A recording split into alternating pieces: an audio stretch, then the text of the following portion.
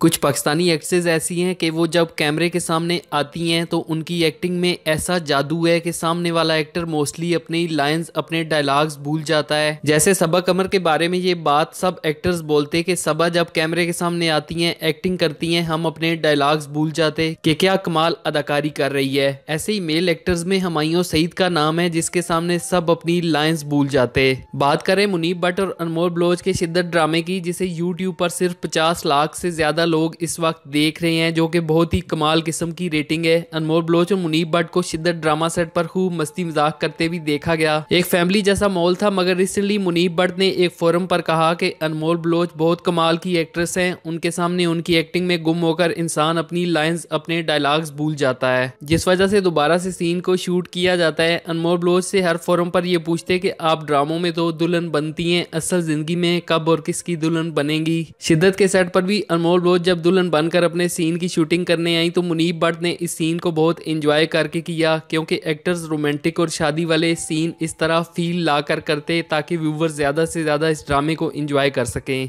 लोगों को काम पसंद आ सके, इन नाजर में भी अनमोल लोज दुल्हन के रूप में बेड पर बैठी हैं, जबकि मुनीब भट्ट दूल्हा बने अपनी लाइन्स बोल रहे हैं। इस रूम में बाकी टीम भी मौजूद, जिसमें कैमरामैन डायरेक्टर और तमाम असिस्टेंट हैं, जो कि इस सीन को लाइव इंजॉय कर रहे हैं। सो आपने अगर अभी तक चैनल को सब्सक्राइब नहीं किया तो सब्सक्राइब करके बेल आइकन को ज़रूर दबा दें ताकि हर नई वीडियो आपको भी मिल सके। मिलते हैं एक नई वीडियो के साथ। तब तक के लिए अलाफिज़